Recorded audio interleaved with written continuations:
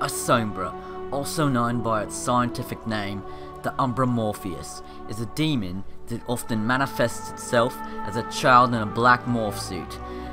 They are very mysterious creatures, and I'd like to learn a lot more about them.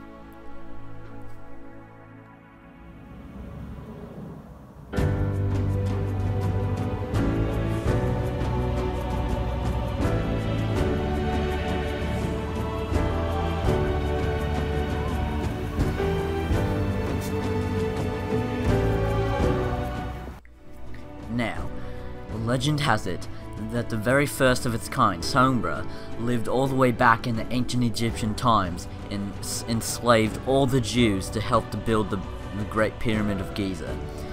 Here is an inscription written by the ancient Egyptians in a picture of them worshipping Sombra.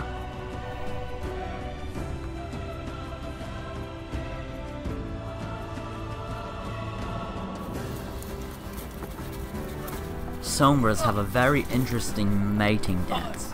No, not a mating call, a mating dance.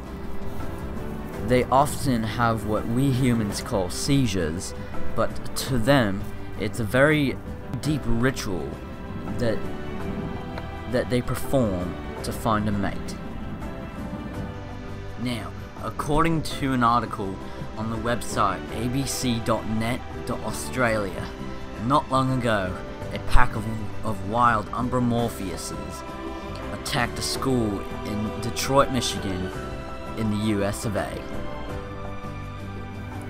Now, the Umbra Morpheus is a very mysterious creature, not liking any other color of food except for black.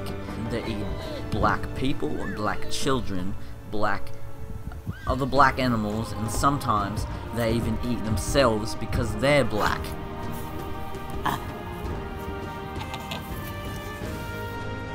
Just because a Sombra likes black food doesn't mean it doesn't like to kill white people too.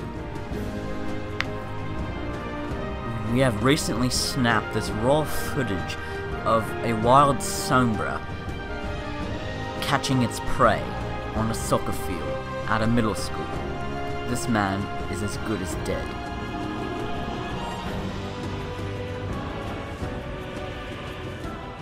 My name is Jack Willie Wiener, and join me next time as we examine the next wild animal, the wild retard. Thanks for watching. And go ahead and subscribe.